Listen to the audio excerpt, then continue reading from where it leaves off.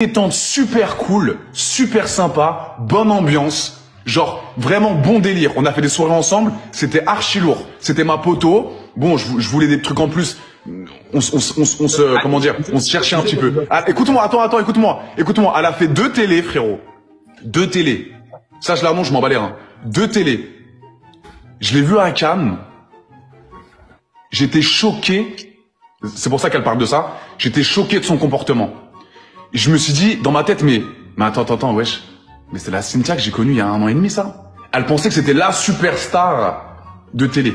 Genre, elle, elle se prenait des hauts, elle était là en mode, euh, euh, non, moi je fais ci, ah putain, vous faites des ballons, ah vous êtes vraiment dégueu, ah moi je fais pas ça, wesh, y a- moi il y a que du champagne, des trucs de grosses stars.